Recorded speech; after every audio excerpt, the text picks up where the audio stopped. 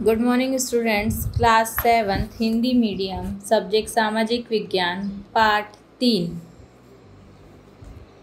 सही विकल्प पर सही का चिन्ह लगाइए क ट्रांस ट्रांसकिया ट्रांसोकियाना में एक छोटा राज्य फरगाना के सिंहासन के लिए सफल हुआ यहाँ आपको चार ऑप्शन दिए गए हैं आपका सही उत्तर है बाबर ख देखिए, यह फारस के शाह की मदद से था कि हुमायूं ने और कांदार को पुनः प्राप्त किया। सही उत्तर है आपका काबुल। ग दिया है, अकबर ने पूरे प्रांत को मुगलों के अधीन बारह प्रांतों में विभाजित किया, जिन्हें कहा जाता था। उत्तर है आपका सुबह घ दिया है, अकबर ने शासक राजा भारामल की बेटी से विवाह किया। उत्तर है आपका राजस्थान। अगला प्रश्न दिया है, रिक्त स्थानों की पूर्ति कीजिए, क। अकबर के दरबार में नौ गहने या नौ रतन थे, ख। शाहजहां के शासनकाल के बारे में जानकारी का मुख्य स्रोत अब्दुल हामिद लोहरी द्वारा पदशाहनामा है। रिक्त स्थान में आएगा पदशाहनामा।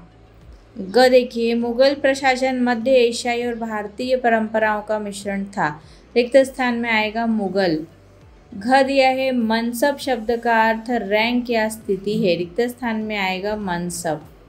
अगला देखिए, तीसरा, निम्नलिखित प्रश्नों के उत्तर दीजिए। क, पानीपत की पहली लड़ाई किन दो शासकों के बीच लड़ी गई थी?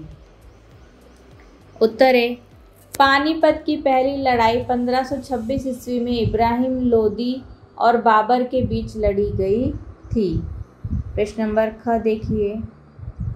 रुपया क्या था? उत्तर है, रुपया नामक एक नया सिक्का पेश किया जो लंबे समय तक एक मानक सिक्का बना रहा। प्रश्न नंबर ग, अकबर द्वारा विजय प्राप्त राज्यों के नाम दीजिए। उत्तर है,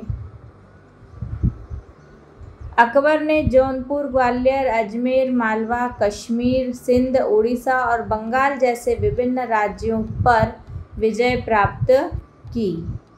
प्रश्न नंबर घ है अगला। शेरशाह ने अपने शासन का प्रशासन कैसे किया? उत्तर देखिए घ।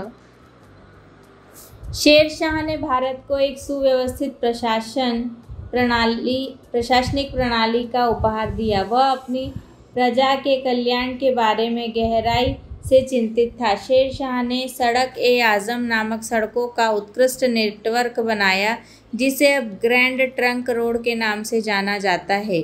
उन्होंने यह सुनिश्चित किया कि सड़कों और राजमार्ग सुरक्षित हो।